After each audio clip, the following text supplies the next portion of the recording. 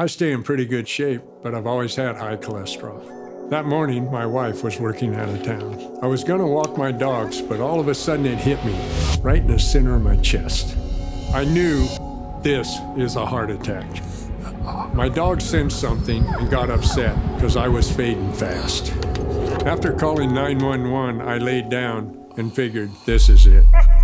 I woke up and the dogs were licking my face and the firemen were there. When the ambulance got here, they asked me which hospital I wanted to go to. I said, definitely Asante. He said, good choice. Pretty soon they rolled me out of the ambulance at Asante Rogue Regional Medical Center. As I'm laying there passing the cardiac team, they're all lined up waiting to work on me. And they're smiling, saying, We got you, Larry. You're going to be all right. That was the moment. I thought I was in good hands, and I was. They're top notch.